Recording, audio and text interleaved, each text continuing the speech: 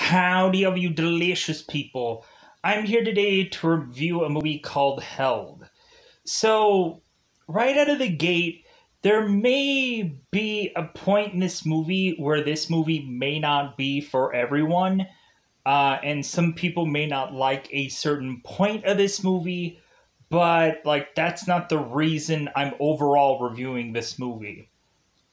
Uh, the, I think the main reason why I am going through and reviewing this is because I had reviewed uh, in the early stages of this YouTube channel, uh, and I tag teamed it with a movie called It Follows. I reviewed this movie called Deadly Virtues. And after reviewing a movie called Deadly Virtues, like while I was watching this movie, it kind of had some feel of that kind of movie. There was something about it where I was just like, this feels like that movie, but uh, it really didn't seem like the overall goal played out. Uh, but if you come into this review kind of wanting to see another movie, go ahead and definitely check out Deadly Virtues. You can probably go into an app called uh, Letter C Movies or Fox HD Movies and go and watch that movie, and you'll probably like the twist ending or the twists and turns that that movie is to go into. I thoroughly enjoyed that movie for eventually how we have the twists and the turns of that film. Uh, but like it just comes off as a guy that is just uh, hostaging two people. Hostaging? That's probably not a word. Uh, taking people hostage, but there's more to that. So, and there's more to this movie. So, uh, so teeing it up for people, we have both Emma and Henry that are to eventually go into, I guess, this. Uh, like I don't think it's their normal home. I think it's some kind of special like home away from home for them. I I believe. So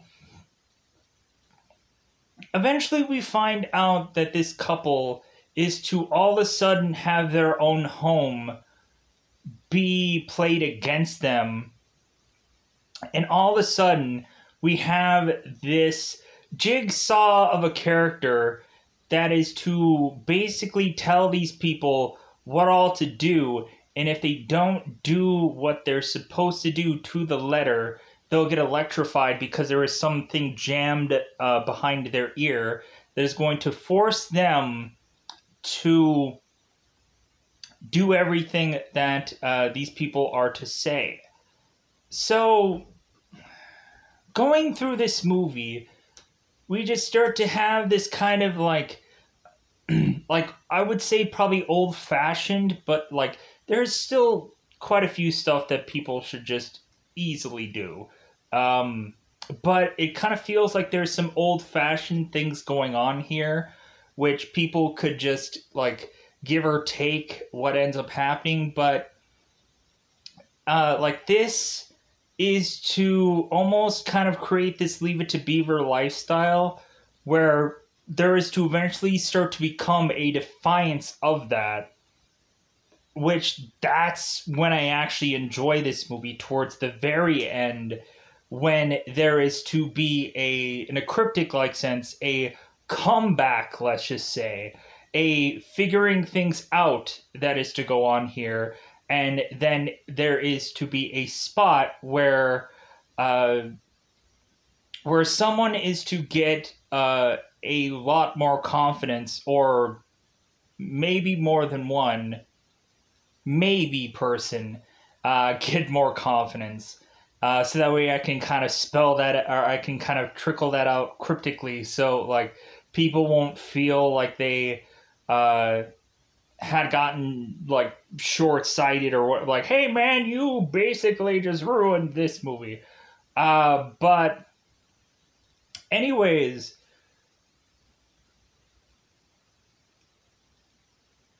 going in here, uh, we find something out about this about one of our characters that is to ruin this re- ruin this relationship and then figure out a way to try and save it also. Like we have this creepy esh like guy that is trying to save uh, these people's relationship but also like having the truth be out there which like get everything out there that it's like hey like uh, this person did this so what? Like uh, like hug one another forgive one another and let it go and like stay together kind of thing uh, but yeah so really that's i think where i probably have to just kind of put uh, this in a cryptic thing to be called uh, and to go into spoilers about this movie. Because uh, there isn't much to, there isn't much beyond this point that I can just like okay let's just go into spoilers. Uh, so I don't know it feels like this couple is very distant from one another like you can kind of feel that throughout the entire film.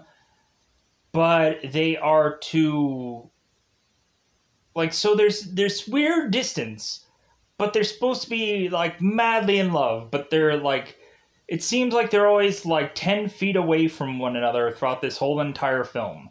Like there's some weird distance thing that i just thought was so weird in this movie so i think it's about that time to go into spoilers let's go and break down this whole movie just in case people want a taste of what is to actually be a part of this film Maybe you'll be more interested. Maybe you won't. Maybe you'll just uh, go on and watch Deadly Virtues.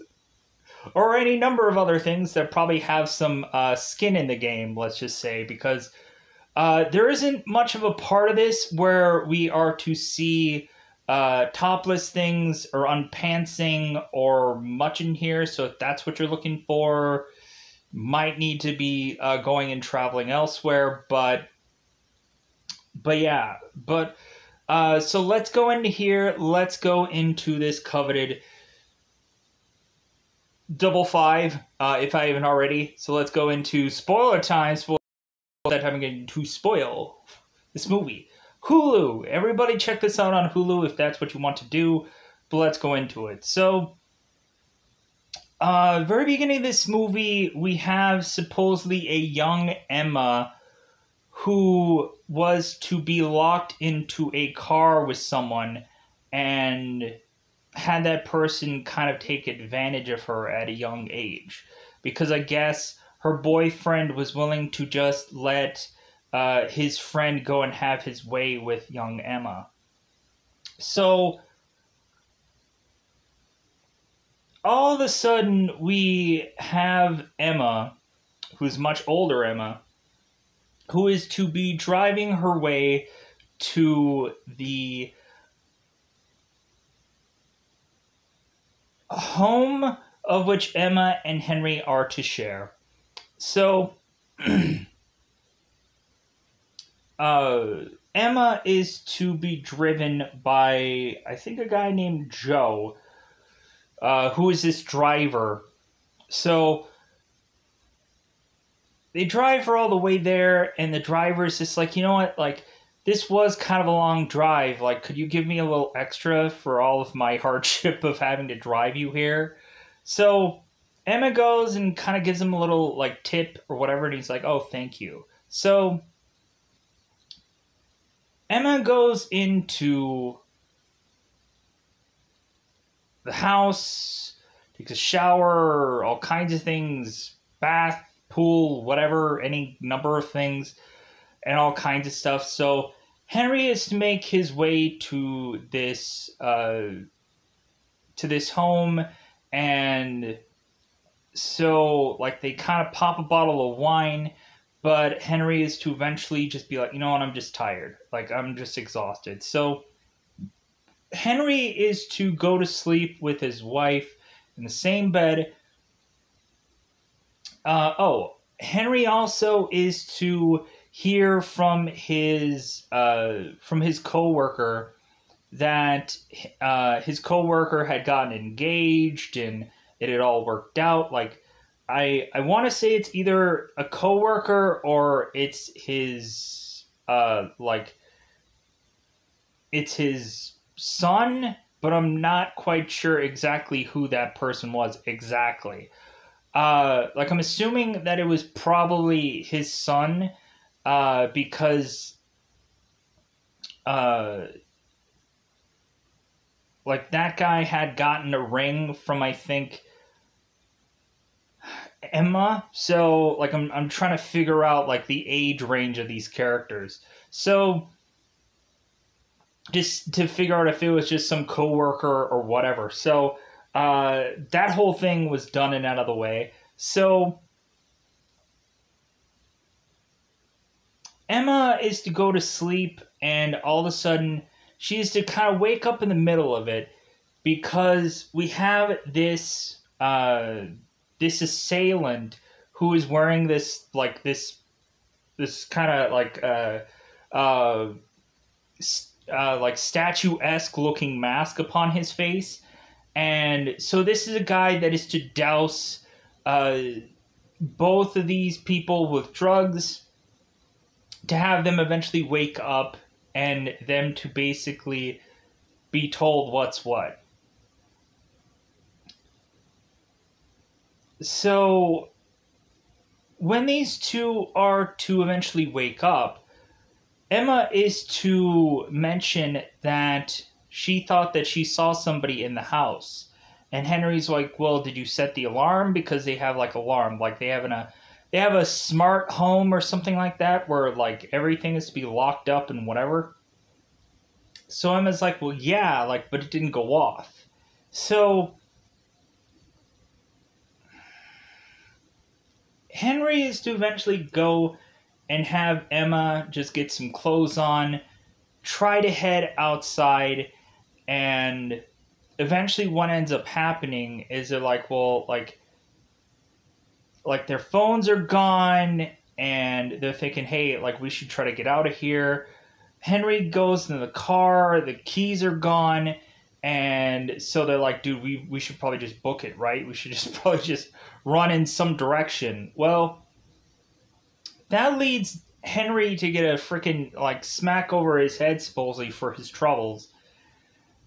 But that just leads him back into the house. So eventually there is to be a voice that is to go over like the intercom of this home and there is to be a TV on that is to kind of show that these people are being watched. So what they're going to do here is they are going to tell these people don't try to leave again. Obey us and like do what we tell you. Ba ba ba ba ba. So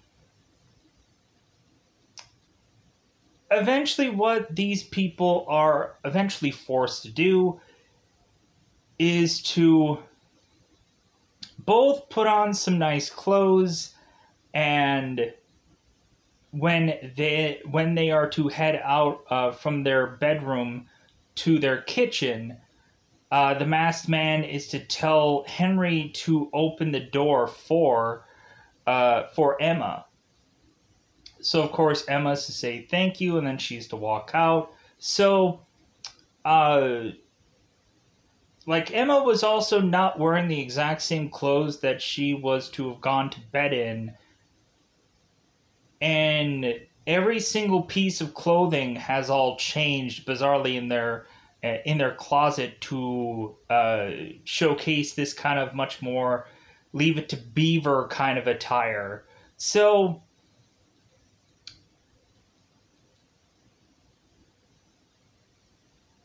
Emma is to go and start making food, and the voice is to come over uh, on the intercom or whatever, like the voice is to make sounds and talk, telling Henry that he needs to go and get this laptop.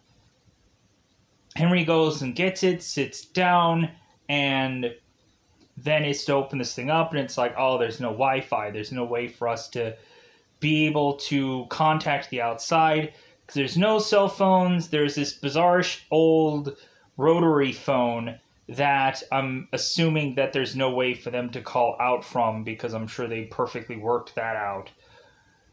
But it would have been nice if they would have just played with it a little because they had time to kill here. So Henry is to open this thing up and there's one file. Hmm. I wonder what Henry is going to have to do. I think he's probably just going to have to try and surf the web for a good solid like 20 minutes. No. The voice is telling Henry to open up the file, and Henry does. So, Henry opens his file to see a video that conveniently is to have proof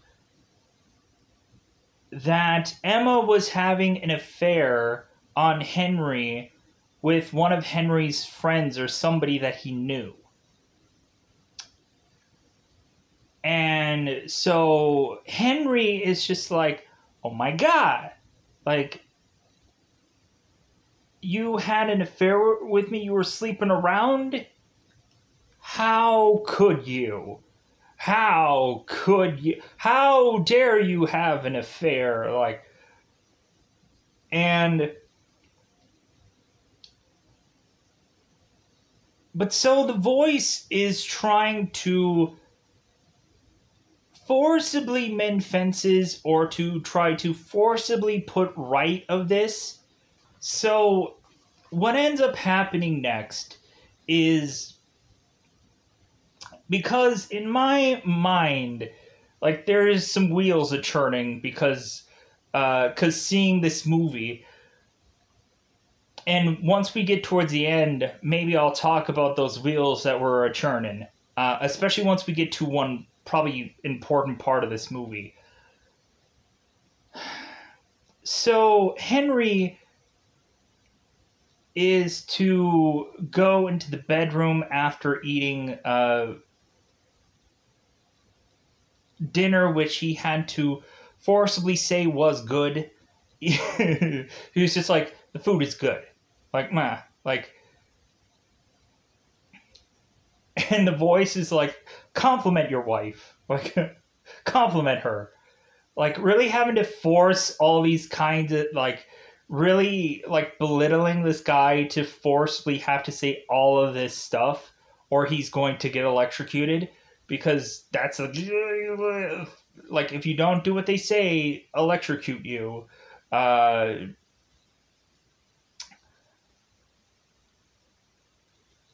so they go in the bedroom and now the voice is telling henry to like disrobe his wife. There's still a nightgown on. You don't really see anything. And then emma is to disrobe uh, Henry's shirt. Now they're forced to like say their I love yous and say that I want you and say all this other stuff consist and so the voice is telling Henry to make love to his wife. So Henry goes on and is to tell his wife like if you say stop like uh, at any point in time, like I'll understand. So Henry is just to kiss all up on on his wife and almost go into throw passion, but then Henry is to be like, you know what? Like I don't think I can do this. Like I think I should stop. Like I think I should uh like not do this. And then the uh the voice electrocutes Henry, knocking him down Emma's like, oh no, like stop, stop. So uh Henry ends up getting like shocked so bad that his ears are bleeding. We have these spots where the like the ear is bleeding moments where people do the wrong things, they try to escape, they do any number of things. And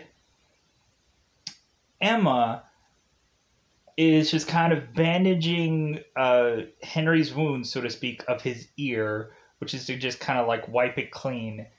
And so that's when they kind of have this moment about this affair. And Henry is to just be like, well, like I asked you if you wanted me to stop and you didn't. Like, why didn't you say stop? And Emma's like, I don't know. I really don't know. Where, like, I guess because she had just been a person who had became a person that might not have been able to say no, or maybe in this spot, like where she couldn't have said no before maybe she felt she couldn't say no here. I don't know. Like, I don't know what the breakdown of that is mentally, but uh, so we push on in this movie. Uh, I know there might be some bits of things here and there that happen afterwards, but uh, the next thing that is to eventually play out here is we have Emma's cheating guy that ends up coming into the fray of this whole scene where uh, Oh no, wait. There. Wait, wait, wait. There might be a spot before this. Yeah, there might be. Let's go to that spot. Either way, like, uh, like we'll still get back to that spot. So, Emma, while she was, I guess, cooking the night before, had realized there might be a secret passageway that is to be underneath this uh, like cooking like cooking cabinet of a place. So Emma goes and pulls off this one wood piece and has her husband help her. Emma goes down there, and that is to all of a sudden trigger uh, the voice guy who is to sneak into the home and medicate both uh, both Henry and and both Emma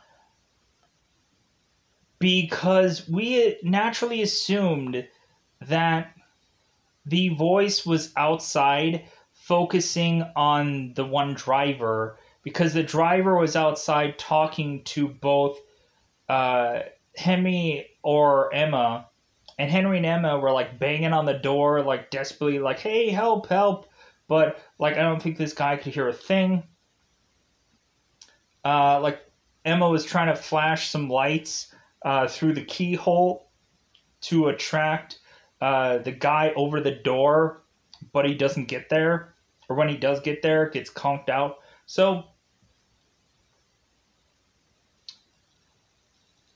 But Emma finds that sneaking passageway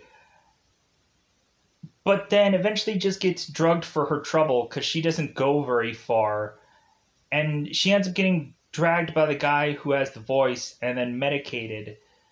And then she ends up waking up to have the uh, the cheating man in, in Henry and Emma's midst. So Henry is to talk to this guy and just be like, how could you have slept with my wife? Like, how could you have done this to me? Blah, blah, blah, blah. So, Henry is to grab the knife just in this upsetting manner. Just be like, I am gonna kill this guy. Like, he, like, like, I think he's going to ruin my marriage. Blah, blah, blah. So, Emma is trying to stop him from doing all this and all of a sudden, the voice is to say, like, no, Henry, you can't kill this guy. Uh, if anything, Emma has to. Emma has to kill this man so that way your marriage can be saved, kind of thing. So, uh, so Henry is now to be electrified so that way he doesn't like have any like uh involvement in this the voice is telling Emma to do it, and Emma is now at this crossroads of like I don't know what to do. Like I don't want to do this. Uh, this guy is to tell Emma that like he really is like in love with her, anything that I can possibly say to avoid death and whatever. But Emma stabs this guy, kills him to free her husband, proving that uh, like Emma is wanting to save their marriage. So that was a big step. Uh, so Emma and Henry are to go back into uh, into the living room or into the bedroom. And Henry is to go off and say, like, hey, you know what? Like, uh, like you've done enough. Like, I will go and I'll take care of the body and, like, I'll, like, like, and we'll never have to speak of this again, blah, blah, blah, blah, blah. So, Henry is supposedly going off. But Henry wanted to give Emma this drink, this alcohol to just kind of like kind of maybe relax her because of all the stress of this whole moment. So Emma all of a sudden is to take a little like sip of this drink. And then she's like, you know what? Wait a minute. wait a minute. Uh, maybe there is a little bit of something here. Like maybe considering Emma was seemingly the only one that really did any true wrongdoing here. How is it all of a sudden that Emma is gonna have to be the real true like culprit of everything here all of a sudden. But then wait a minute. Emma is to go and take little sips of drink and then kind of go under her little coffee table and pour some of it out. Take a little sip and then pour the rest of it into the floor and then Emma is going to pretend to take a little nap, little nappy poo. And all of a sudden, we see the guy who is the voice, and we see Henry, who is tag teaming this project. I'm like, wait a minute, what? What? What's going on here? Because Henry made like a statement in the part of this movie where he's like, "Well, we don't know if it's just one guy or not." I'm like, "Hmm, I wonder why you're saying that, Henry." Hmm, so that way you can kind of make her, uh, who is Emma, feel very at ease or unease. Uh, let's just say that. So Emma is while like Emma's to assume to be down, and they're like, okay, great. Like we're gonna, we're just gonna continue on doing what we're doing and and cleaning up and all kinds of stuff. While they're kind of thinking Emma is just drugged out, Emma goes on to a secret part of this home to find this video about this whole pitch of some bizarrish company that is to be this leave it to beaver kind of way of doing things which i didn't like at all. But then i'm like oh my god this is like a freaking like some weird master planish crap that i'm just like whoa. Like this is just insane. So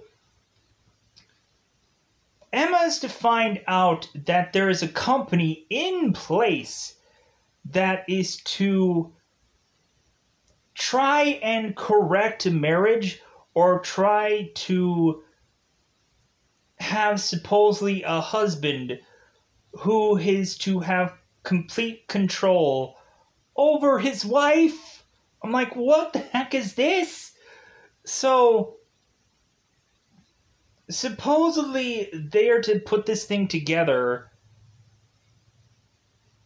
that is to have this woman that is going to be completely obedient to her husband and they put these scenarios together to supposedly perfect that. And I'm just like, oh my god. Like, so if anybody's marriage is on the rocks, like, send him to this guy, freaking Joe Schmola person.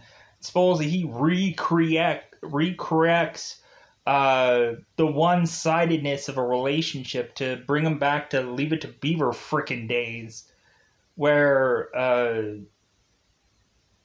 where I guess like these people want this kind of lifestyle. So Emma's like, ah, oh, so like, so somebody had a plan, huh? Somebody had a plan. Hmm. Wow. Like, kind of makes you really think that the person that you really loved, you didn't really know. Um, plus, also, like, I'm wondering if Henry knew about all of this all along, and it's like, well, we're gonna correct that behavior. Both mother. Uh. So Emma's just like, well, I'm gonna come up with a master freaking plan too. Yeah.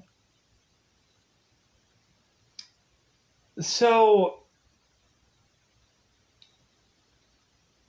Emma is to be hauled into this car, like still like awake, but she's pretending to be just like I'm drugged still. I'm drugging. Husband Henry is to put her into this car, and then he's to just be like, ah, I know you're asleep, so I'm just gonna kiss on you and do whatever I want. And I'm like, yeah, like I have my thumb under you, and it's just like, just you wait there, buddy. Just you wait. Just you wait. So, uh, so Emma is to go and like take her her obvious implant uh, so that way she doesn't get electrified through her ears or whatever freaking ear thing that they do to just affect sounds or whatever they ruin her hearing uh, like she digs that out. And while she's doing that, eventually the voice guy comes uh, and sees Emma is awake. And so now Emma is fighting with this uh, with this black masked guy, this black uh, what is the guy's actual name? Uh Nathan? Yeah, Nathan. So Emma is to eventually tussle with this guy, but eventually what ends up happening is Emma takes a freaking shovel to this guy and freaking kills him. And I'm like, yeah. Who's gonna be, be obeying who now, mother? Uh? and so Henry is just kind of like walking along and Emma's like, oh my god, like Henry, as she's like cleverly taking the the watch from uh, Nathan before Henry is to arrive to put in her pocket. Emma's like, Henry, oh my god. Like, I just awoke just seemingly out of nowhere, and like I found this this man, and so he was attacking me, so I defended myself. And Henry's like, oh my god, like wow, like like I guess like we should we should get out of here. Like maybe this is the only guy. Maybe we're safe. So Emma's like, yeah, maybe we should try to get out of here now. And Henry's just like, well, wait a minute. Maybe we should go back in the home. Like maybe we could find something there like a phone or something. Maybe we can find some something to like try to like escape. Like maybe there's a way now. And you can just tell that Henry is to consistently sneak up behind Emma while this whole walking scenario is going on. But Emma's just like, well, like, and she's heading to the door, and Emma's just like, well, like, aren't you gonna open the door for me? And Henry's like, of course I will. Like, uh. Emma's like, yeah, I know. I know. so Emma, Henry going to the home, and eventually this all leads to eventually Emma getting the watch and trying to turn it on and just be like, yeah, freaking, I'm gonna get at, uh, I'm gonna get at Henry. So she ends up turning it on, and it's the wrong one that isn't actually in place into Henry. And so that cues up Henry to realize what's going on. And then he's just like, well, like, I guess I have to kill you now because there's no way for you to obey me. There's no way this is going to work. Because what Nathan had said in this whole video, or what they were trying to do, was to pin this murder on Emma so there was no way for Emma to not be completely obedient to Henry because there's footage of her murdering someone. And I guess that evidence being held over Emma was going to be the thing of just the the smoking gun if Emma was not going to be completely obedient or the way that Henry wants Emma to be obedient to him. So but Henry is just like, well, that time is over. I'm going to have to kill you now and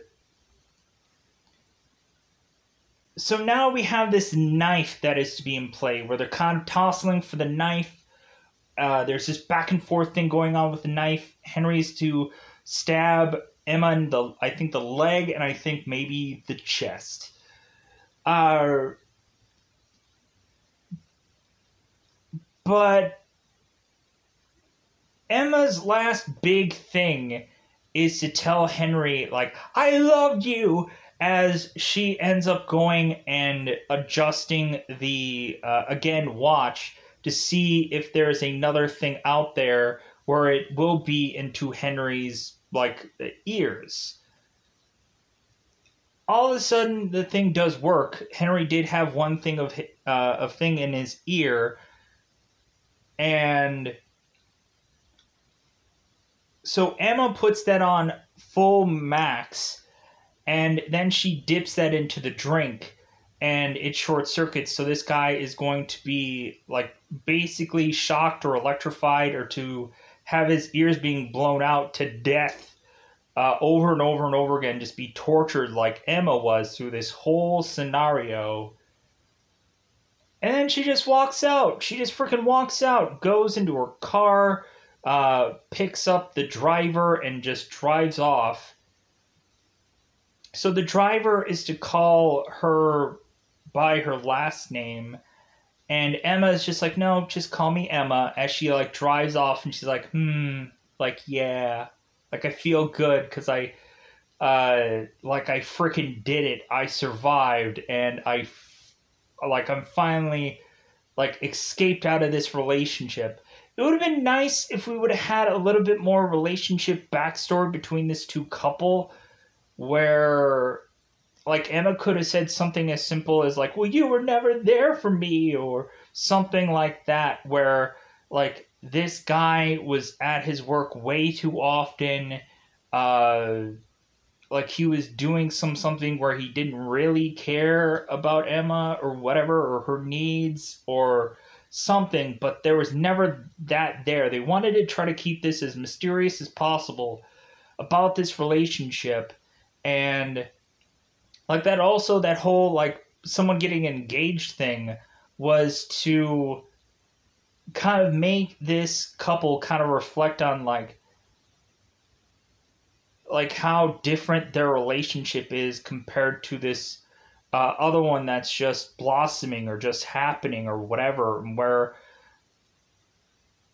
like we have a person that is happy in his relationship to seeing this couple that is just like yeah we're just here.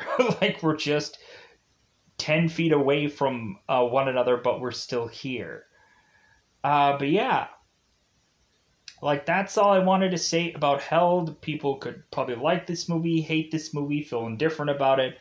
But at the end of the day i could just say it was another thing that i reviewed uh, thank you, anybody, for watching this or listening to any of the words that were coming out of my mouth. So thank you.